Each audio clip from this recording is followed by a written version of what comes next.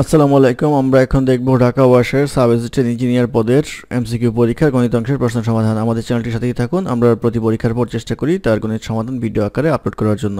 অঙ্ক শুরু হবে বাইশ নম্বর অঙ্ক দিয়ে। বাইশ নম্বর অঙ্ক ছিল, যদি তেলের মূল্য পঁচিশ পার্সেন্ট বৃদ্ধি পায়, তবে তেলের ব্যবহার শতকরা কত কমালে তেল বাবদ ব্যয় বৃদ্ধি হবে না? অর্থাৎ আগে তেলের দাম ছিল হচ্ছে একশো টাকা, এখন হয়েছে পঁচিশ পার্সেন্ট বেড়ে একশো পঁচিশ টাকা। তাহলে যদি আপনি খরচ বাড়াতে না চান, তাহলে একশো পঁচিশ টাকায় পাওয়া যায় হচ্ছে একশো টাকার তেল। আর যদি আপনি খরচ না বাড়াতে চান, একশো টাকায় পাওয়া যাবে হচ্ছে একশো পঁচিশ ইন্টু একশো ইকুয়াল টু আসবে হচ্ছে আশি টাকার তেল। ব্যবহার আপনাকে কমাতে হবে হচ্ছে একশো বিয়োগ আশি ইকুয়াল টু হচ্ছে বিশ পার্সেন্ট এই বিশ পার্সেন্ট হবে এই প্রশ্নের উত্তর। তারপর প্রশ্ন নাম্বার তেইশ। নাম্বার তেইশে বলা আছে দুই এর কত শতাংশ আট হবে? তো দুই এবং আট যদি আমরা হিসাব করি, আট হচ্ছে দুইয়ের চার গুণ। যদি আট দুইয়ের চার গুণ হয়, তাহলে আমরা বলতে পারব হচ্ছে শতকরা চারশো পার্সেন্ট এটি হবে এই প্রশ্নের উত্তর। তারপর প্রশ্ন নাম্বার চব্বিশ। নাম্বার চব্বিশে বলা আছে, নিচের কোন সংখ্যাটি বৃহত্তম? তো এটা আমরা কম্পেয়ার করে করে যাব। ছয় বাই এগারো, আর একটা আছে আট বাই চোদ্দ। আট বাই চোদ্দোকে লেখা যাবে হচ্ছে চার বাই সাত। তাহলে কোনাকুনি গুণ করেন, ছয় সাতা বিয়াল্লিশ চার এগারো, চুয়াল্লিশ। তাহলে এখানে চার বাই সাত বড়। তারপরে এর সাথে আমরা কম্পেয়ার করব হচ্ছে তিন বাই পাঁচ। তাহলে এই কোনাকুনি গুণ করলে চার পাঁচে আসে হচ্ছে বিশ, তিন সাথে আসে হচ্ছে একুশ। তাহলে এখন এইটা বড়। এখন পরবর্তীতে আমরা কম্পেয়ার করব হচ্ছে পাঁচ বাই আটের সাথে। তিন আটা আসে হচ্ছে চব্বিশ, পাঁচ পাঁচে আসে হচ্ছে পঁচিশ। সেই ক্ষেত্রে এইটা বড়। তাহলে আমরা বলতে পারব এই চারটা অপশনের মধ্যে আট ভাগের পাঁচ হচ্ছে সবচেয়ে বড়। এটি হবে এই প্রশ্নের উত্তর। তারপর প্রশ্ন নাম্বার পঁচিশ। নাম্বার পঁচিশে বলা আছে three by x plus four by x plus one equal to two হলে এক্সের মান কত? তো এটা আমরা উত্তর থেকে বসাতে পারি, আর যদি অঙ্ক করতে চান, তাহলে আসবে এমন x into x plus one হবে হচ্ছে লসাগু, আসবে হচ্ছে three x plus three plus আসবে হচ্ছে four x equal to two বা এটা আসবে হচ্ছে seven x plus three equal to আসবে হচ্ছে two into x square plus x seven x plus three equal to আসবে two x square plus two x এইটা করলে পাওয়া যাবে হচ্ছে two x square minus five x minus three equal to zero বা middle term করলে পাওয়া যাবে two x square minus six x plus x minus three equal to zero বা টু এক্স কমন নিলে পাওয়া যাবে হচ্ছে x minus three plus one common নিলে পাওয়া যাবে x minus three equal to zero বা x minus three two x plus one equal to zero অতএব আমরা বলতে পারব এক্স ইকুয়াল টু থ্রি অথবা x equal to minus one by two তাহলে এক্স ইকুয়াল টু থ্রি হবে হচ্ছে এই প্রশ্নের উত্তর।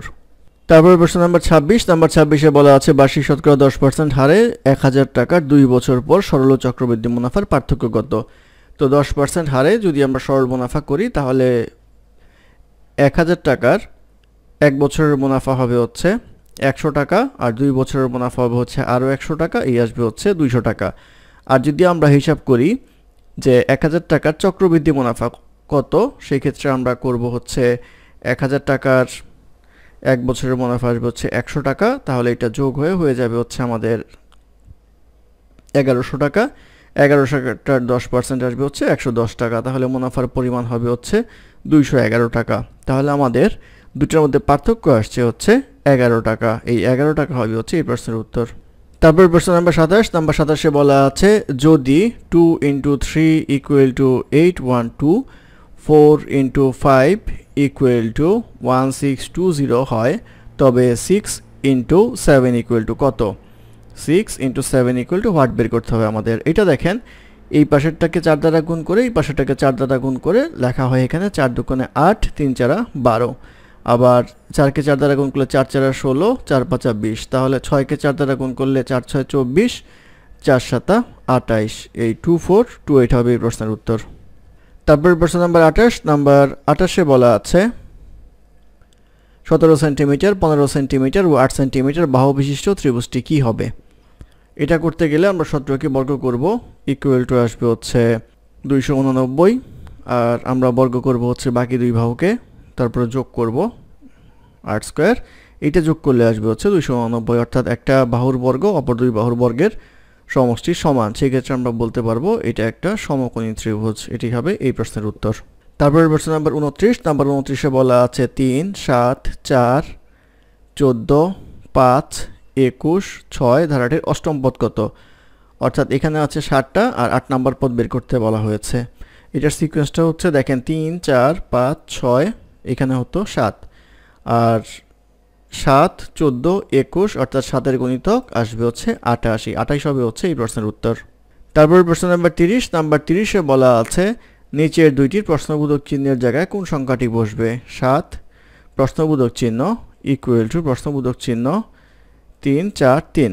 তখন প্রশ্নবোধক চিহ্নের জায়গায় আমরা এক্স ধরবো, অর্থাৎ seven by x equal to x by three forty three বা ক্যালকুলেশন করলে এক্স স্কোয়ার ইকুয়াল টু আসবে হচ্ছে টু ফোর জিরো ওয়ান বা বর্গমূল করলে এক্স ইকুয়াল টু পাওয়া যাবে হচ্ছে ফোরটি নাইন অর্থাৎ উনপঞ্চাশ হবে হচ্ছে প্রশ্নবোধক চিহ্নের জায়গায় বসবে।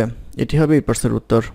তারপরে প্রশ্ন নাম্বার একত্রিশ। নাম্বার একত্রিশে বলা আছে, টাকায় পাঁচটি মার্বেল বিক্রি করায় বারো পার্সেন্ট ক্ষতি হয়, দশ পার্সেন্ট লাভ করতে হলে টাকায় কতটি মার্বেল বিক্রি করতে হবে? টাকায় পাঁচটি মার্বেল বিক্রি করার মানে হচ্ছে এক টাকায় পাঁচটি মার্বেল বিক্রি করা হয়, তাহলে একটি মার্বেলের দাম হবে হচ্ছে ওয়ান বাই ফাইভ টাকা। এটা বিক্রি করে বারো পার্সেন্ট ক্ষতি হয়, অর্থাৎ এইটি এইট টাকায় বিক্রি করে হচ্ছে একশো টাকার মার্বেল তাহলে ক্রয় মূল্য যদি আমরা বের করি, তাহলে আমরা এইটি এইট দিয়ে ভাগ করব, একশো দিয়ে গুণ করব। তাহলে আমাদের ক্রয় মূল্যটা বের হয়ে আসলো।